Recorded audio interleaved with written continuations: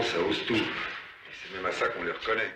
Eh bien, bonjour tout le monde, ici Trog, et aujourd'hui, news spéciale PlayStation, mais on va dire des gros, gros, gros, gros, mais très, très gros bad news. Alors, je suis tombé sur des trucs de dingue, donc voilà.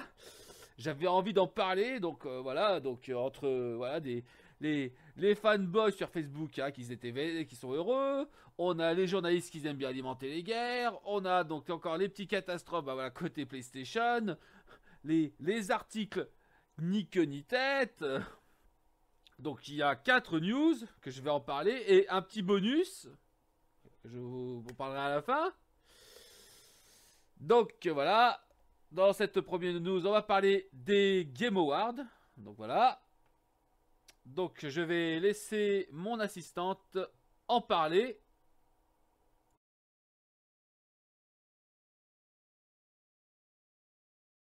Game Award, échec cuisant pour Sony, du jamais vu depuis 8 ans.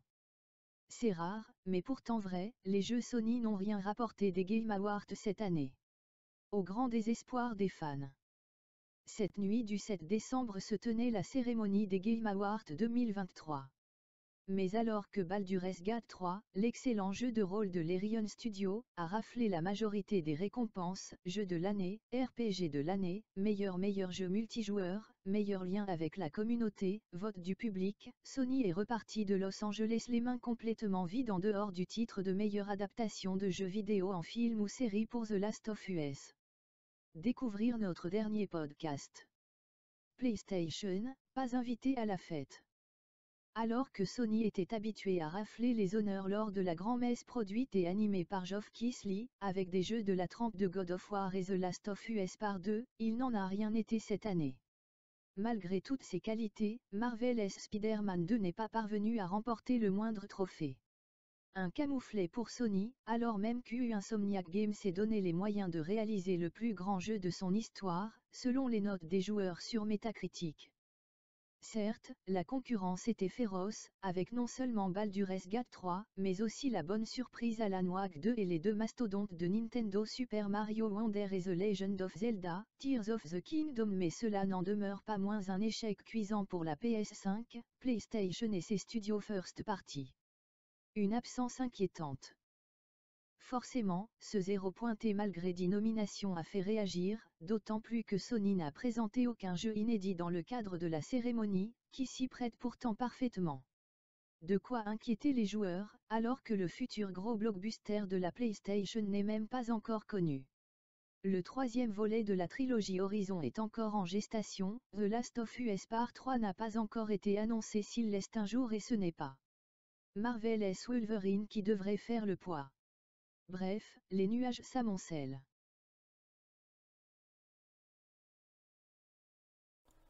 Bon, voilà, hein, comme on dit, hein. Faudrait qu'un jour ou l'autre, fallait un jour qu'il y ait un échec, comme on dit, hein. C'est que c'est marrant, là, on part de Baldur's Gate 3. Bon, comme j'ai dit, félicitations pour ce jeu, hein, voilà, qui était une exclusivité au début console exclu temporaire PS5. Que, voilà, tous les fanboys Sony l'ont vénéré parce qu'il a écrasé Starfield, mais pour Sony, ça leur a apporté que dalle, hein, parce que voilà, c'est voilà, bah, parce que c'est pas un studio Sony, oui, c'est l'Ariane Studio, voilà. C'est voilà un petit studio à dire que maintenant le jeu est disponible sur Xbox et en plus je suis très content que maintenant il y a le jeu en physique. Donc voilà, c'est gros édition, donc ça va, 80 euros, on va dire ça. C'est une édition, pour moi c'est c'est une bonne édition, donc très très réglo. Donc en plus, en plus, c'est pas en édition limitée. Donc voilà, bon, j'ai plus rien à dire sur Baldur's Gate 3 sur ce coup. Et bon, bon, mes commentaires pour Sony, hein, sur ce coup, hein. On va passer par la deuxième news. Donc voilà, hein. Euh, pardon. Attention pour les possesseurs PS5, un énorme bug qui fait planter la console. Donc euh, voilà, comme toujours, je vais laisser mon assistante en parler.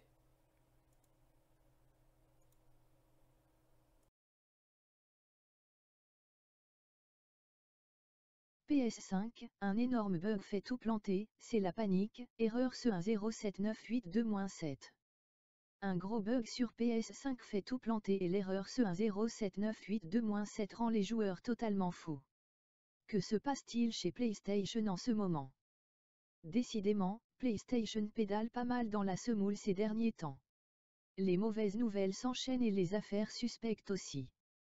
Suppression de contenu acheté à vie par des utilisateurs, bannissement injuste des joueurs et une mise à jour de sécurité il y a peu, que se passe-t-il? On ne sait pas vraiment et pour le moment, on n'a pas vraiment d'informations, mais une nouvelle erreur sème le trouble sur PS5 depuis quelques heures maintenant, c'est un peu le chaos. Un très gros plantage sur PS5, l'erreur ce 10798 rend fou. Ce 10798 cette erreur apparaît sur l'écran des joueurs PS5 depuis plusieurs heures désormais et un tour rapide sur le net suffit à se faire une idée de l'ampleur du problème. Plusieurs centaines de rapports en peu de temps, et des joueurs qui se plaignent partout sur les réseaux sociaux. Mais que se passe-t-il? En fait, il est visiblement impossible de télécharger le moindre logiciel. L'erreur ce 10798-7 vient systématiquement parasite les joueurs qui n'ont absolument aucun moyen de réagir pour le moment. Le problème, c'est que sans pouvoir télécharger son jeu ou ses mises à jour, difficile de jouer. Pour le moment, nous n'avons aucune information concernant l'origine du problème, mais Sony est assurément déjà sur le dossier. Pour l'heure malheureusement, il n'y a pas de solution miracle pour résoudre le problème si ce n'est prendre son mal en patience ou jouer à des jeux qui ne nécessitent pas de téléchargement. On surveillera de près la situation pour voir si elle se décante rapidement, on croise les doigts en tout cas. Donc euh, voilà, donc euh, petite, euh, une petite une panne, oh, pourquoi je dis petite, mais une, ouais, plutôt une, ouais, une panne sur, voilà, bah, PlayStation, donc voilà, hein, donc voilà, PlayStation Network, pas de signalé au cours des dernières 24 heures. Hein. Grosse montée là, hein, une très très grosse montée. Bon, moi j'ai pas encore testé hein, ma PS5, voilà, euh, aujourd'hui. Je verrai si c'est cette panne et tout ça, donc euh, à voir. En plus j'ai acheté un jeu, donc j'espère pas tomber sur la panne, donc euh, je verrai, je verrai. Après voilà, j'espère que ça va pas bousiller ma console, bon, cas où voilà, je suis garanti.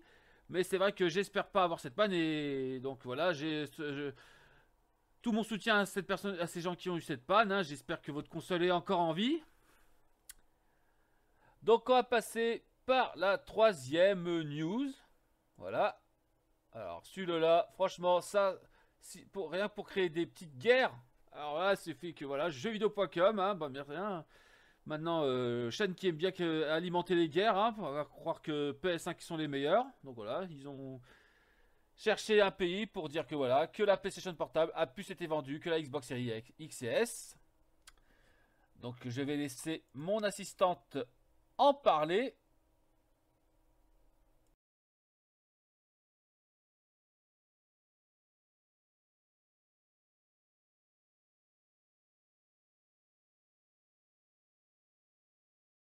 Il se vend plus de PlayStation Portal PS5 que de Xbox Series X S dans ce pays et non, ce n'est pas une blague. En Espagne, la PlayStation 5 semble vivre sa meilleure vie, tout comme son dernier accessoire en date, le PlayStation Portal. Pour ainsi dire, l'objet a réalisé de meilleurs scores que la Xbox Series. Le PS Portal, un accessoire décrié, mais qui semble plaire. Si l'initiative de pouvoir jouer partout, tout le temps à sa PS5 est plutôt séduisante, le PlayStation Portal n'est a priori pas l'objet ultime que les joueurs espéraient, il ne s'agit vraiment pas de cloud gaming, mais bien d'un objet destiné au remote play, nécessitant alors une PS5 allumée et une solide connexion Internet.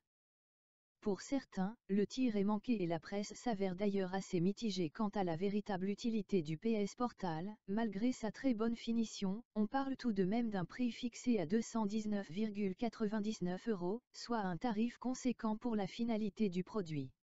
Malgré tout, d'autres y trouvent leur compte et sont pleinement satisfaits des performances de l'accessoire. On vous redirigera vers notre test disponible ci-dessus et vous incitera à vous exprimer directement dans les commentaires, si vous avez le PS Portal en votre possession.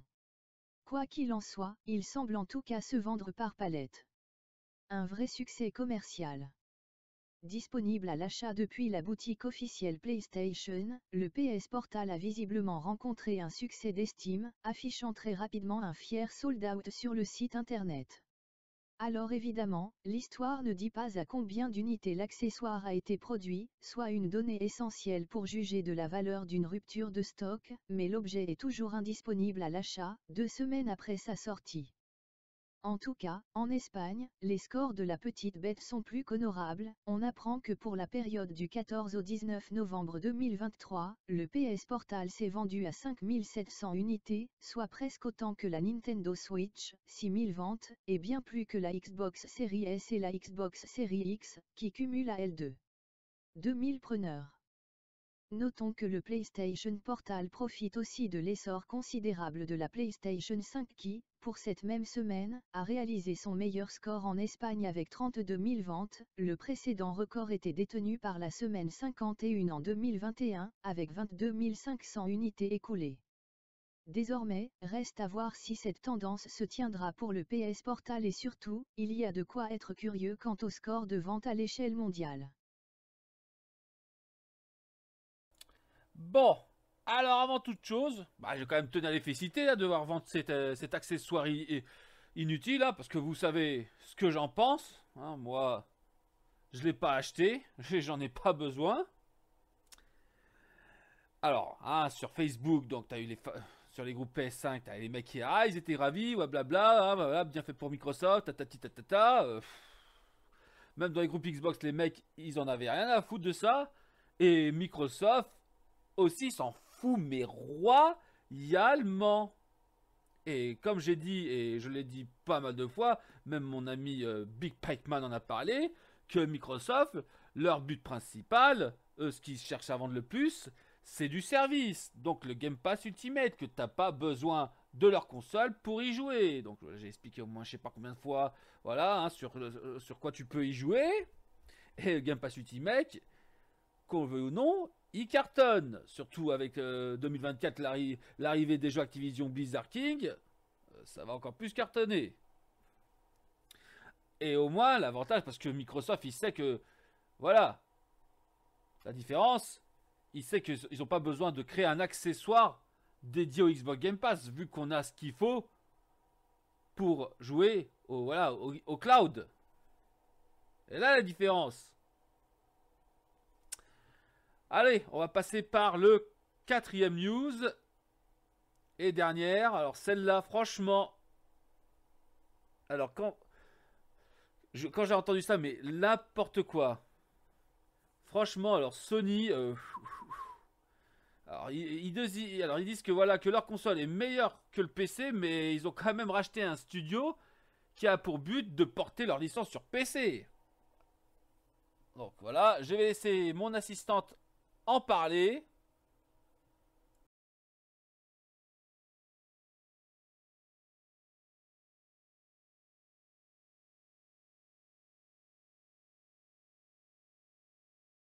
La PS5 meilleure que le PC. Sony fait une déclaration qui divise. La PS5 est-elle finalement meilleure qu'un PC Sony tente de le démontrer dans une récente interview. Cette déclaration mérite une attention particulière. Dans une récente interview avec Nikkei Asia, Hideaki Nishino, vice-président de Sony Interactive Entertainment, a discuté des avantages de la PlayStation 5 par rapport au jeu sur PC. Cette discussion survient alors que le jeu sur PC gagne en popularité, mais selon Nishino, la PS5 détient des atouts uniques. Performance et accessibilité de la PS5. En fait, Nishino a expliqué que la PS5 a plusieurs avantages sur le PC. Il soulignait que pour obtenir une performance GPU équivalente à celle de la PS5, les utilisateurs de PC doivent investir significativement en temps et en argent pour construire leur propre système. En revanche, la PS5 permet aux joueurs de profiter immédiatement de jeux à un niveau technique élevé. Cette facilité d'accès est un avantage notable par rapport à la complexité et au coût souvent associés au PC de jeu. Il dit. Pour jouer à des jeux PC avec la même performance de GPU et autres caractéristiques similaires à celles de la PS5, il faut investir de l'argent et du temps pour construire son propre PC. Bien que cela puisse être gratifiant, une console dédiée permet à tout joueur de profiter de jeux au même niveau technique dès le déballage.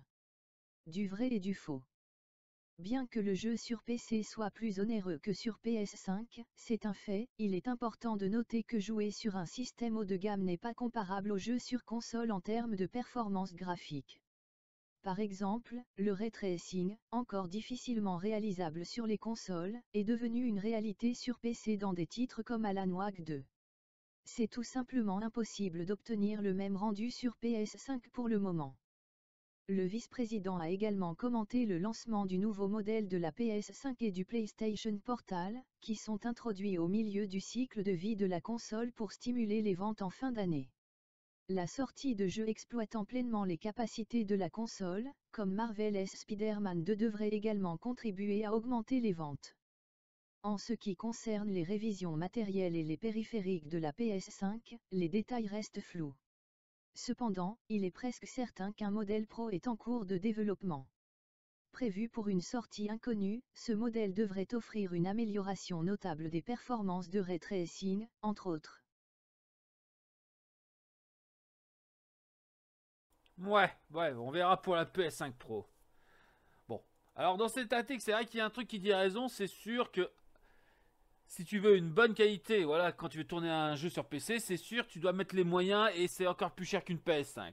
On est d'accord, ça, il n'y a pas de problème. Mais, mais, mais, mais, mais, mais, mais, mais, mais. Juste une question. Donc, je vais poser, je vais lancer un défi aux possesseurs de PS5 et ceux qui ont le jeu Spider-Man remasterisé est-ce que vous pouvez mettre la tête de Peter Parker de la version PS4 Moi, sur PC, je peux. Et pour ceux qui ont vu ma vidéo, bon, ça fait sortir un moment que je, l'ai sorti, euh, celui de mon quand j'ai fait mon coup de gueule hein, contre le collecteur de Spider-Man 2, hein, j'ai montré donc le Spider-Man 1 remasterisé avec la tête de Peter Parker de la version PS4. Donc vu que c'est remasterisé, c'est la dernière tête. Et, vu, et grâce à quoi? Grâce à un mode que j'ai installé. Et que sur PS5, jamais tu pourras. Parce que voilà, quoi qu'on dise, euh, si tu as un, voilà, un bon PC, bah, ça sera supérieur aux consoles. Donc voilà, parce que tu as plus d'avantages comparé aux consoles. Tu peux faire plus de trucs avec ton PC que tu pourras jamais faire sur ta console. Donc voilà, on va passer maintenant au petit bonus. Donc voilà le petit bonus. Alors qu'est-ce que le petit bonus? C'est une histoire qui m'est arrivée hier sur Facebook. Donc à moins que vous viviez dans une grotte, mais vous devez savoir que voilà qu'un jeu Blade est en développement par Arkane Lyon. Donc voilà, annoncé au Game Award. Et donc sur Facebook, moi j'ai dit cool, c'est bien que Xbox a une exclusivité Marvel, parce que côté Sony, il y a Spider-Man, en 2025, si tout va bien, il y a l'arrivée de Wolverine. Donc ça serait bien aussi que Xbox a des exclusivités Marvel. Et sur Facebook, il y a un gars que je connais, donc voilà, on connaît que sur Facebook, mais pas réalité. Un gros, gros, gros pro Sony, hein, que j'ai souvent fait débat avec lui. Et que je lui mets presque tout le temps la raclée, hein, oui, j'ai lui pas mal la, la raclée, hein, parce que le mec pour raconter des conneries, c'est number one. Moi, j'ai rien contre les débats. Hein. Que quand tu veux défendre quelque chose, voilà, qui te plaît, une boîte qui te plaît, il n'y a pas de problème. Mais quand tu veux le défendre, euh, défends-le bien. Trouve, trouve, dis quelque chose de logique. Et cette personne, eh ben, il raconte que des trucs illogiques. Voilà. Euh, pas, et comme je vous dis, c'est pas la première fois. Hein, mais, mais, bon, après, c'est pas le seul gars qui fait ça. Hein. Donc euh, sur Facebook, il a dit je croyais que payer pour avoir d'exclusivité, c'est mal. Voilà, et quand il a dit ça, parce que voilà, c'est une petite comparaison d'un ancien débat que j'ai eu contre lui, hein, quand j'avais dit que c'est pas normal que Sony a payé Square Enix pour avoir des exclusivités. Et le mec, il me dit, voilà, euh, que quand j'ai dit ça, que pour moi, ça veut dire que c'est bien que Microsoft paye Arcalion pour avoir Blade en exclusivité. Mais Arcalion appartient à Bethesda. Bethesda qui appartient à Microsoft. Donc ça veut dire que, voilà, Microsoft n'a pas besoin de payer Arcanion vu que le studio leur appartient. Donc si Blade sera une exclusivité Xbox Series, donc c'est Microsoft qui choisit. Hein, Square Enix n'appartient pas à Sony. Elle est la différence. Mais bon, t'as beau lui expliquer la réalité des choses, il veut pas toujours comprendre. Comme je vous dis, c'est un gros gros fanboy, mais à fond. Et j'étais pas le seul, on était deux à essayer de lui expliquer les choses. Hein. Et en plus, il rajoute, ouais, euh, ce, Sony paye Square Enix pour faire des exclusivités. Alors pourquoi les derniers jeux Square Enix sont sortis sur Xbox Series? Bah oui, c'est normal, hein, parce que Square Enix a perdu 2 milliards de dollars depuis la sortie de FF16. Ils ont perdu plus d'argent tu en gagné avec Sony. Donc voilà pourquoi Square Enix essaie de se rapprocher de Xbox. Et que, et que franchement, c'est un très bon geste de leur part. Donc voilà, hein, c'était une petite vidéo bonus. Dites-moi ce que vous en pensez de tout ça. Donc comme toujours, les liens en description. C'était trop gay, je vous dis...